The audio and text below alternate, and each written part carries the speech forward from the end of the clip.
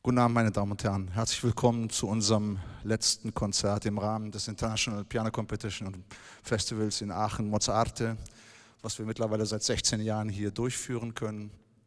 Und dieses Jahr war es ein besonderes Jahr, es war sehr schwierig, aber Gott sei Dank konnten wir dank der Hilfe unserer Sponsoren und Hauptgeldgeber, die uns seit vielen Jahren unterstützen, dieses Festival auch dieses Jahr durchführen besonders natürlich viel mit virtuellen Konzerten, Online-Konzerten, die wir in der Hochschule virtuell statt, haben stattfinden lassen können. Und zum Thema Beethoven Plus, eine International Piano Competition in drei Altersgruppen für junge Musiker im Alter von 10 bis 13 und 14 bis 17 Jahren und eine Kategorie, eine Professional Kategorie von 18 bis 32 Jahren. Dies alles wurde wie immer von einer Ausstellung begleitet, die wir seit vielen Jahren auch im Rahmen des Mozarte Festivals pflegen, bildende Kunst und Musik miteinander verbinden. Das ist ein sehr wichtiger Aspekt, auch heute in der Kultur. Ähm, Sie sehen hier Bilder von einem sehr bekannten Aachener Maler, der weit über die Grenzen hinaus auch bekannt ist, Emil Chocoyo. Er ist leider im August dieses Jahres verstorben, nicht an Corona. Ähm, und ihm zu Ehren ist diese, Ausbild, diese Ausstellung gewidmet sozusagen. Die Bilder konnten Sie am 11.09. hier im Rahmen unserer Gala beobachten und heute Abend zum Abschlusskonzert auch nochmal hier sehen. Eine Staffel von ihm ist hier. Seine Frau hat jahrelang im Aachener Symphoniekonzertorchester gespielt. Ja, und freue mich, dass wir diese Ausstellung in Zusammenarbeit mit der Agentur und der Galerie Dieter Philipp in Aachen haben durchführen können. Die Bilder wurden gestreamt und heute sind einige seiner Bilder halt hier zu sehen. Ein ganz herzlicher Dank gilt an den Hauptgeldgebern und die auch in diesem Jahr uns quasi die Treue gehalten haben. Da möchte ich als erst die Viktor Rolf Stiftung nennen, die Brigitte Hennemann Stiftung, die Familie Shirley Täter, die Stadt Aachen dann der Lions Club Obst Regalis. Ohne die, diese Hilfe wäre das Festival definitiv nicht denkbar und möglich gewesen. Ein ganz besonderer Dank geht allerdings auch besonders an die Hochschule für Musik und Tanz Köln. Wir dürfen seit Jahren an unserem Standort hier in Aachen den, den Wettbewerb und das Festival durchführen.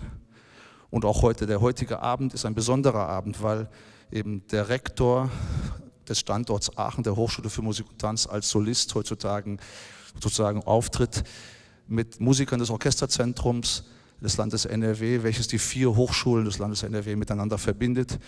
Wie ich meine, ein sehr wichtiger kulturpolitischer Aspekt, den wir gerade heute mehr denn je pflegen müssen. Und so gilt mein besonderer Dank an die Infrastruktur, die Organisation, die ganze Logistik, die uns die Hochschule für Musik und Tanz in Köln bietet.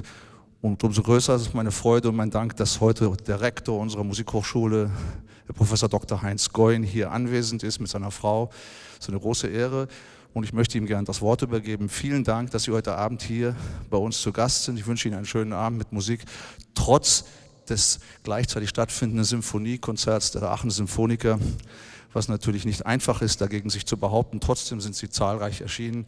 Ganz herzlichen Dank dafür und ich wünsche uns ein schönes Konzert, einen schönen Abend und hoffe, dass wir uns dann nächstes Jahr zum nächsten, zum 17. International Mozarte Festival wiedersehen können, hier in den Räumlichkeiten. Ja, und einen schönen Abend noch und jetzt bitte an Herrn Professor Dr. Heinz Korein. Vielen Dank.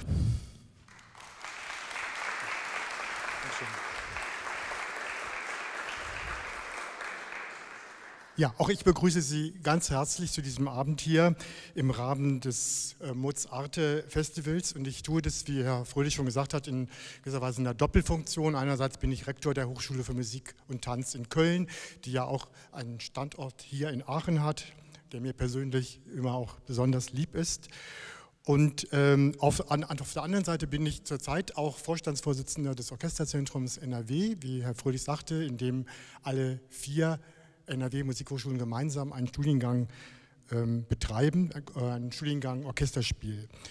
Und sowohl der Standort Aachen als auch das Orchesterzentrum in Dortmund sind eben, wie eben auch deutlich wurde, wichtige Pfeiler äh, dieses Festivals. Und natürlich freue ich mich besonders, dass der, mir der liebe äh, Kollege Professor Hans-Werner Huppertz, der Rektor des Standortes, und auch Alexander Hülshoff, der künstlerische Leiter des Orchesterzentrums, hier heute gemeinsam mit NRW-Studierenden musizieren.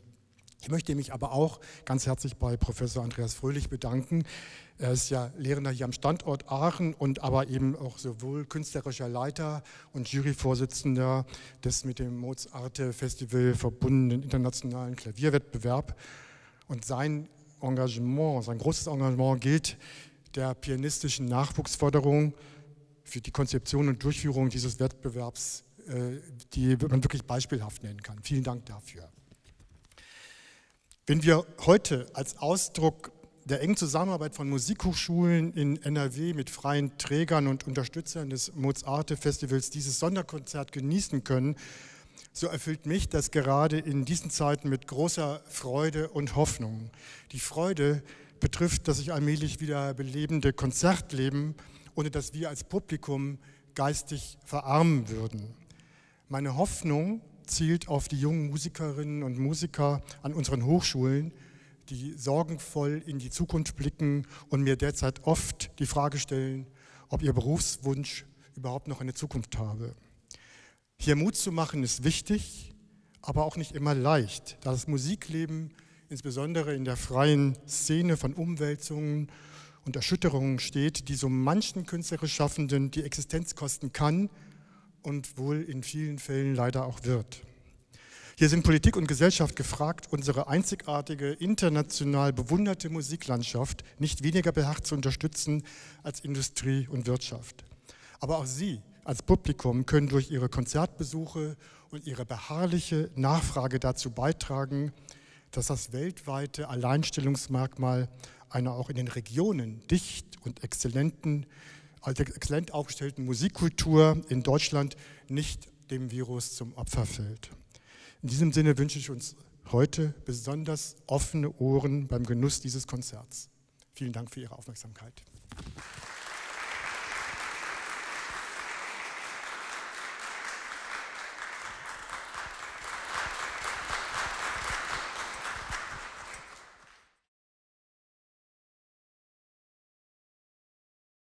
Ich wollte mich nur sehr bedanken, einmal bei Andreas Fröhlich und bei seinem Team, dass sie diesen Wettbewerb, dieses Festival bei uns in der Hochschule durchgezogen haben. Mit so viel Sorgfalt, mit so viel Aufsicht auf alles, was da an Hygienebestimmungen einzuhalten war. Aber das hat uns wirklich wieder sehr, sehr viel Leben ins Haus gebracht. Dafür vielen Dank und äh, danke für den Mut.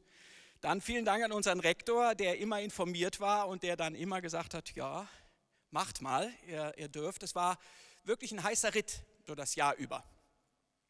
Jetzt eine kleine Erklärung noch, warum am Ende eines Klavierfestivals so viel Gitarre erklingt.